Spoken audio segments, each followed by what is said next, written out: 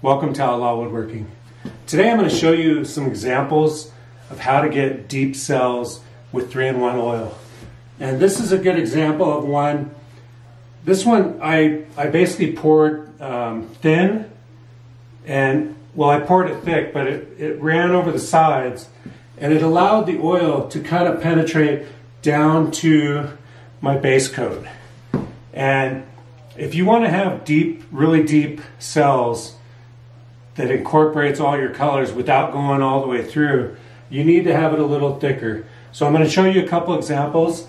Now this one, I let it run over the sides, so it ended up thinner on the top. Now although it turned out nice and I like this one, I'm going to show you two other examples that actually turned out a little better. Let me show you the other ones. Now right here is a really good example of some, some really nice cells. Now the way I did this is I actually taped off the outside where I had um, a quarter inch of the tape sticking up above so that it allowed the epoxy to stay in on top of the on top of the art. And what what this allows is it allows, like if you look in these cells, you can see the whites and the blues and the, you don't really see down through to the, to the primer. And you can see the blues here. This is a really nice one right here. Very green. So you're getting a lot more depth out of your cells. And these really look like jellyfish. Um, so this is an example of how to, how to create deep cells. And basically what I've learned is you want your epoxy layer to be a little bit, you know, start off with your different colors, and when you put your oil in, you, you want that, but you don't want a, that epoxy to run off and allow the oil to go down to your base coat, because then you just end up with some black centers or whatever color your base coat is.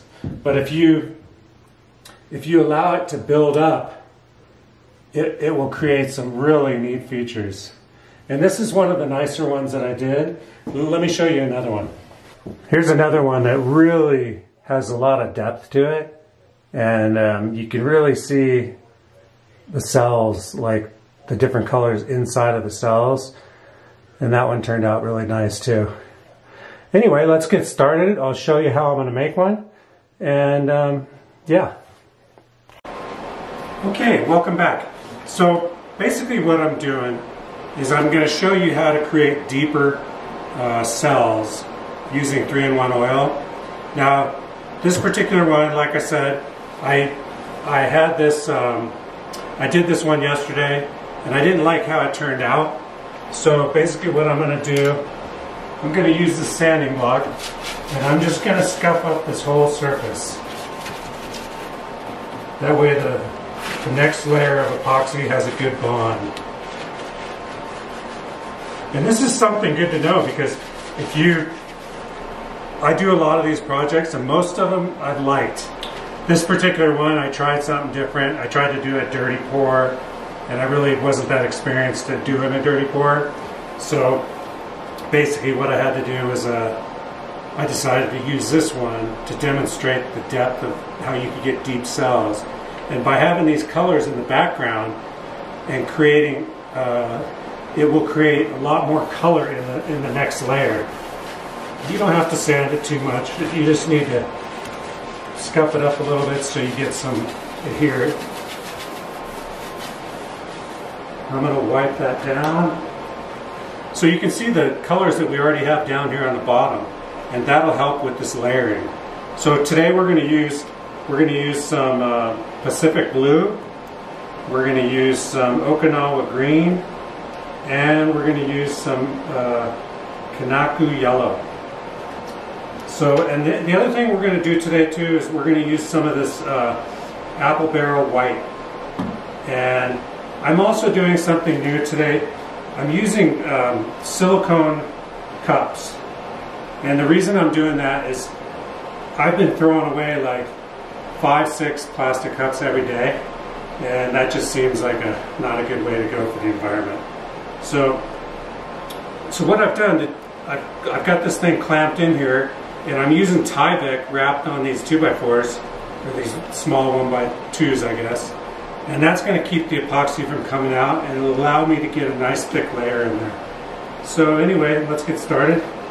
We'll start off with uh, I think we're going to start off with some Okinawa, or no, this blue, Pacific blue. And we're only going to do eight ounces at a time.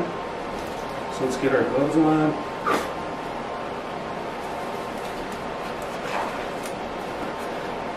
The nice thing about having a kind of having it formed up too is you're not wasting so much epoxy. And whenever I let it run over the sides, I, I lose a lot of epoxy. Okay, I'm going to start out like I usually do with the, the curing the hardener first. And I've got the room temperature right now. You can see I've got my, my pellet stove going in the background. And the room temperature is 71 degrees right now. Perfect temperature for epoxy. Now normally if this was a raw board with no, no color on it, I would uh, I would put a base layer of clear. But since it already has color in the bottom, I'm going to go right for our colors. Right here I'm doing 8, 4 ounces. This is a one-to-one, -one. I'm using super clear. And we're going to use this blue first. Doesn't take much, just a little bit. Goes a long way. I really like, I've been really happy with the eye candy pigments. They, um, they really have a, a kind of a translucent effect and it, it looks pretty cool. The other thing I do is I level out this the board so that everything kind of flows evenly. This is my first time using these uh, silicone cups. I was curious how they do scraping the edges because they're such a soft, such a soft material. So again, this is a one-to-one -one mixture and room temperature is 71 and I'm going to mix it for a couple minutes. Every, every art project that I do, I learn a little more. And the reason I wanted to show you about these cells is that's something I learned recently. I did about three or four projects using the 3-in-1 oil. And I noticed when I looked at them, the one that I, the one that was, I poured thick and I taped off the sides, the cells came out a lot better. So that's what I'm going to demonstrate today. Again, always scrape your sides. I'm kind of excited that I can reuse these cups and not waste a bunch of plastic all the time. That should make it a lot nicer for me. Okay, we're just about ready to pour this blue. Open and scrape the sides once more. Okay, I'm going to switch over to the GoPro so you can get a downward look at it. And we'll just go one cup at a time and I'll show you. First up is a Pacific blue. And I just kind of pour it in like a boomerang and I crisscross them. Next up we're going to pour this Okinawa yellow color also from eye candy. I'll leave a I'll leave a picture of it right here. And we're going to go the opposite direction with this one. Now I always torch them out in between. I try to remember.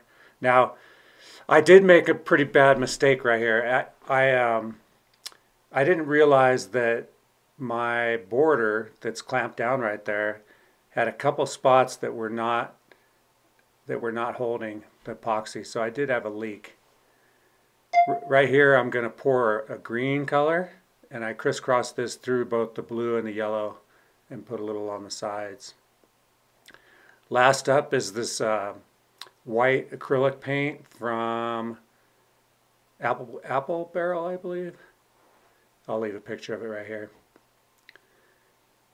So basically what's happening is you're by creating the border, you're able to get the epoxy to, to thicken on top of your art project. And what that does is it keeps it keeps the oil from burning all the way down through your to the bottom. And right here I take my blow dryer and just blend up these colors the blow dryer is kind of a little bit of a secret weapon that I, I think really transforms. And right here I put the 3-in-1 oil in. Now I'm going to speed this up about 20 times. And right here I walk away, I leave my GoPro going, but look at the place where it's leaking out. And I don't, I don't see it because I walked away to just let the cells do what they wanted and I had the camera going. But you can see I have a pretty big uh, leak right there and it's causing my epoxy to drain off. Now, it wasn't the end of the world. I did come down and throw a clamp on that spot, and that kind of saved it. But I, it, it did create a little different of a look because um, it looked like it was just running off of that side.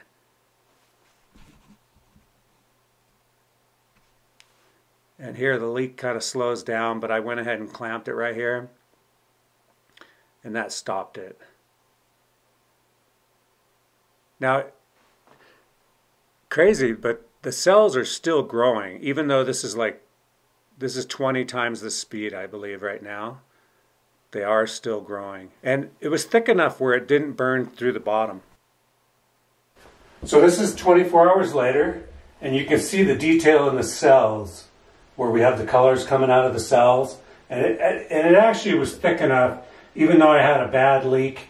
Like you can see the leak went out this way. But um, in spite of that, it, it actually turned out really nice. You can see the detail in these in these cells, and then also when it leaked, it kind of created some character on this side, and um, yeah, it was thick enough where it didn't go down to that last layer. But this is this is the example of if you can have your if you can create enough depth with your colors, the three-in-one oil won't go down to your um, to your base coat, and it'll create some deeper cells.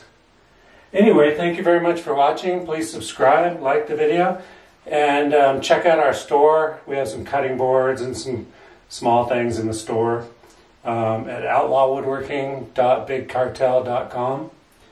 Anyway, thank you very much for watching, and I will see you next time.